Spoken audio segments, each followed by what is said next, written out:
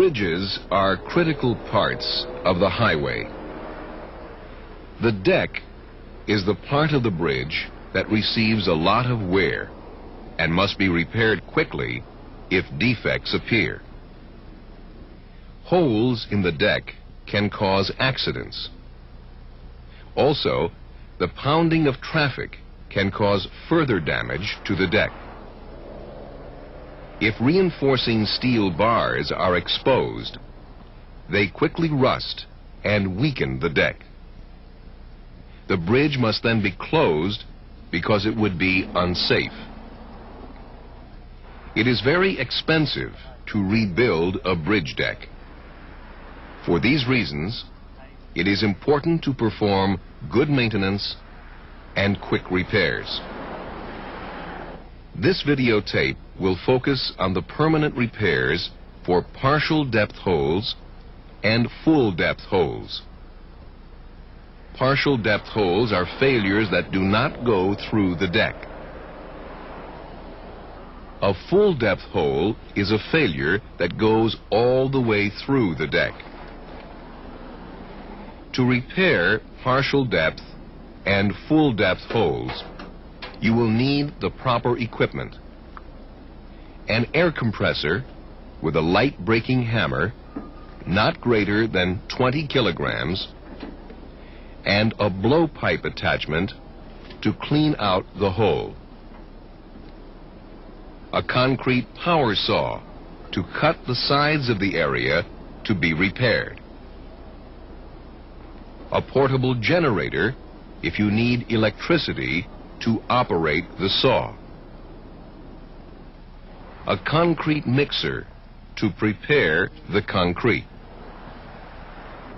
And hand tools which include chisels, a trowel, a sledgehammer, wire brushes, a straight edge, a steel bar, stiff brooms, rods, shovels, buckets, and wheelbarrows.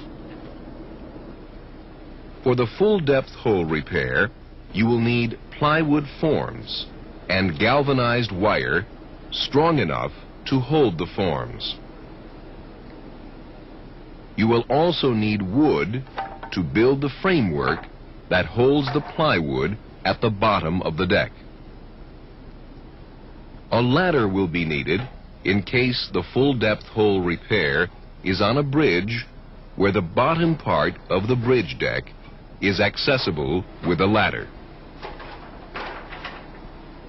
For the concrete, use a high, early strength cement. If not available, use other approved cement. You will also need clean aggregate with angular stones no larger than 2 centimeters, clean sand and water, and a curing compound or fabric material to cure the concrete patch. Some linseed oil will be needed to grease the form.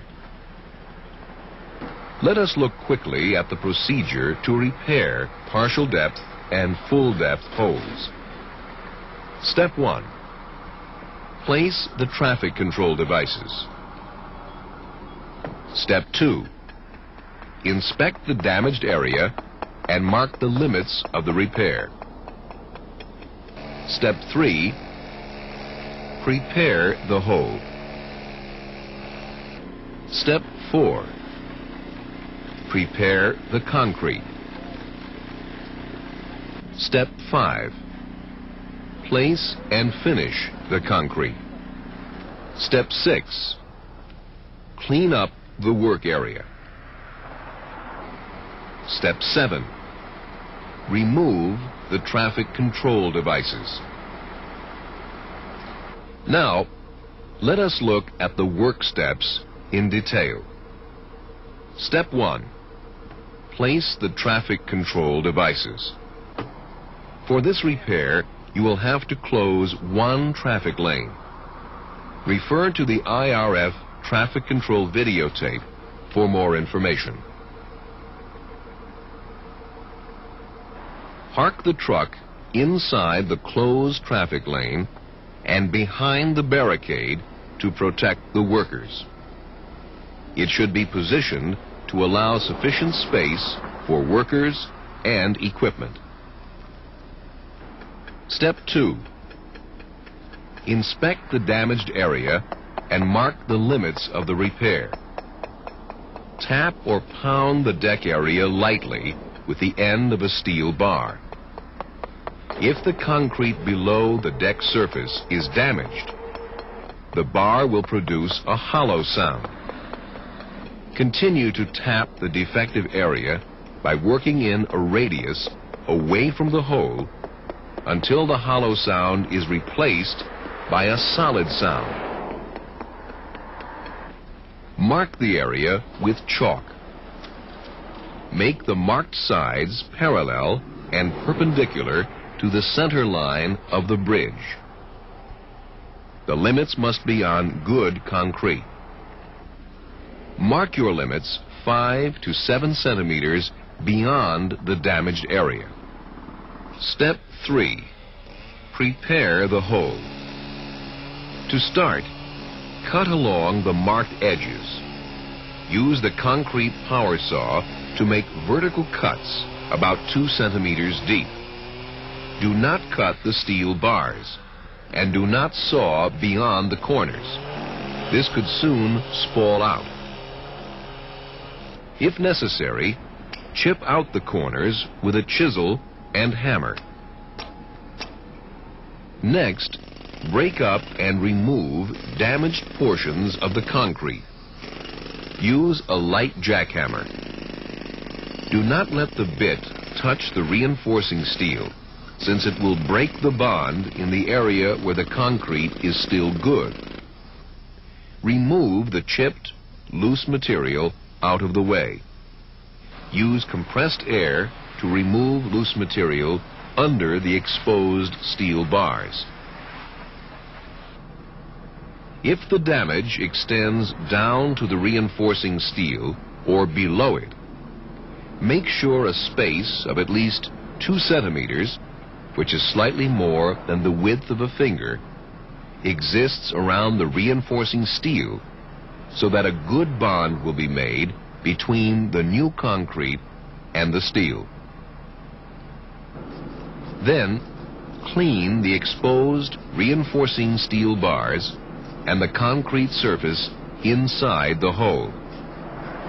Use a wire brush to scrape away any rust. The steel must be clean for a good bond with the patching mixture. Clean out the loose particles and sweep them away from the defective area. Dispose of them in an approved area. Use compressed air to blow all fine particles out of the hole. Inspect the hole carefully before any concrete is placed in the hole. Make sure that there is no loose material in the hole or rust on the steel bars. Also, use steel wire to retie the steel bars if necessary. If the damaged area goes through